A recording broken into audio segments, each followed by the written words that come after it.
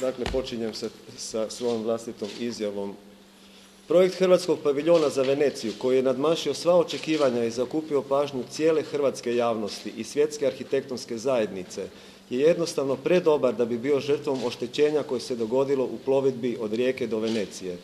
Svi uključeni u ovaj projekt od projektiranja, izvedbe i teglja su u svakom trenutku odgovorno i profesionalno dali sve od sebe da se projekt uspješno izvrši. Kad je postalo jasno da smo na tragu jednog izuzetnog arhitektonskog dijela, projekt je dobio izvanrednu podršku odgovornih, medija i cjelokupne hrvatske javnosti koja se sa njim identificirala. To je jedan od rijetkih slučajeva kada je arhitektura uspjela akumulirati svu pozitivnu energiju jednog društva. Naša je odgovornost da ne prihvatimo posljedice oštećenja i da paviljon vratimo u život. Moramo iskoristiti njegovo već oformljeno značenje u našoj kulturi kao novu priliku i početak. Ova grupa arhitekata jednostavno drugog izbora nema i prihvaća ovaj zadatak kao odgovor svima koji od nas to traže svojim prijašnjim naporom i koji su nam već pružili konkretnu podršku sada. Naša se kultura i arhitektura na, e, ne temelje na odustajanju, već tek u najtežim uvjetima postižu svoje vrhunce. Zahvaljujemo svima koji će nas podržati da to još jednom dokažemo. Sad bih zamolio kolegu Igora Franića da pročita devet točaka koje smo već dostavili po kojima bi željeli odgovarati na vaša pitanja. Prva točka glasi ovako. Službeni nastup Hrvatske na Venecijanskom bijenalu odvijao se u za to predviđenom prostoru u Arsenalima. Izložba je otvorena prema službenom rasporedu 28.8.2010. u 14.30 sati i trajeće do zatvaranja bijenala. Osim instalacije koja detaljno ilustrira ploveći paviljon projektom, fotografijama, filmovima, dijeli se knjiga koja taj proces dokumentira. Izložba je popraćena otvaranjem web stranice www.pavilion.hr. Film o plovećem paviljonu u prvih, prvim danima, znači do sada, vidjelo ga je više od 50 tisuća, kliknut je više od 50 tisuća puta na netu. Ovo je e, neizmjerno važno naprosto da e, smjestite e, što je bio nastup Hrvatske na ovogodišnjem bijenalu. Tijekom priprema, druga točka, tijekom pripreme i osmišljavanja izložbe, izbornik ovogodišnjeg nastupa pokušao je s upravom bijenala dogovoriti izlaganje i dovoz plovećeg paviona u okviru službenog postava. Takav dogovor nije postinut. vodio se intenzivne pregovore cijelo vrijeme dok smo mi to radili sa upravom Bionala E, da se omogući e, nastup Hrvatske sa izvedenom instalacijom. E, određene, određen, nama, je, nama su nuđena određena mjesta, znači nije se radilo o nikakvom konfliktu i nikakvom suprostavljanju jedni prema drugima, nama su nuđena neka mjesta gdje bi se vez mogao ostvariti, međutim za to su bili potrebni dodatni radovi, dodatna financijska sredstva koja mi naprosto nismo mogli izvesti na mjestu u Veneciji gdje se to predviđalo. Na temelju toga bila je da tada još uvijek odluka da paviljon u Veneciju ne ide. Treća točka. Hrvatski ploveći paviljon prema rješenju autorske skupine izrađen je na vezu u brodogradilištu Kraljevica bez obzira na neizvjesnost odlaska u Veneciju. Njegova vrijednost iznosila je trećinu sredstava predviđenih za nastup, a u korist njegove izrade svi autori odrekli su se honorara. Sa izradom instalacije krenuli smo tek onog trenutka, odnosno mogli smo krenuti onog trenutka kad smo svoje vlastite novce, svoje vlastite honorare usmjerili prema tome. Prema tome, e, špekulacije o odnosu veličine ukupnog budžeta nastupa na, na, ovome, na bijenalu i veličine vrijednosti, e, vrijednosti paviljona, molim vas da ovdje razjasnimo ako bilo kao ima kakva pitanja vezano na to. Točka četiri.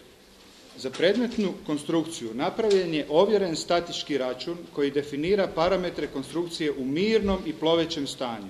Od strane ovlaštene osobe izrađen je proračun stabiliziranja teglenice s teretom. Ti dokumenti bile su obaveza za dobivanje potrebnih dozvola. Znači, svi koraci koje kao struka znamo da treba napraviti, napravljeni su i po njima smo postupali. Od samog početka do kraja. To govorimo o našem radu, od radu nas kao arhitekata. Probnom vožnjom i tegljenjem provećeg paviljona, to je točka 5, od Kraljevice do Riječke rive ispitanje i potvrđen stabilitet. Put od Kraljevice do Rijeke dokumentiran je video zapisom. Većim dijelom ga možete vidjeti ovdje. Probane su različite brzine i e, tegljač sa e, teretom je praćen i to je sve skupa snimano i isprobano. Upravo sad će se vidjeti to tegljenje u punoj brzini. Ploveći paviljon trebao je biti u Veneciji, točka 7, na komercijalnom vezu na Rivi na dan otvaranja. On je bio bonus, dodatak cjelokupnom nastupu koji je, koji je uvjereni smo, mogao ponoviti oduševljenje izazvano u Rijeci. E, mi nismo mogli i nismo bili u stanju e, izvesti gad kakav je trebao izvesti na jednom drugom mjestu veza u Rijeci. Prema tome, odluči, u Veneciji. Prema tome, odlučili smo se da paviljon dovedemo na jedan dan tamo, da ga vežemo na komercijalni vez i da ga sutra dan vratimo. Znači, on bi u Veneciji bio taj jedan dan, zadnjih dva dana, dva dana. Jedan i prvi dan otvorenja, zadnji dan vernisaža. Bio bi četiri dana da smo dobili, mogli dobiti ta četiri dana, ali su vezovi nisu bili slobodni zbog prisustva, velikog prisustva jahti na tom komercijalnom vezu. Komercijalnom vezu, Paviljon je, odnosno teglenica sa instalacijom, krenula je na put onog trenutka kad su za to postavljeni uvjeti. Statički račun vrlo jasno je definirao koji su to uvjeti. U njemu je bilo rečeno konstrukcija kakva je izvedena, kakvu ste vi vidjeli na riječkom gatu, mogla je podnijeti nagibe do 10%. Ti nagibi se dobivaju otprilike valovima do pola metra i ovo. Znači nagibe do 10% ona je mogla podnijeti.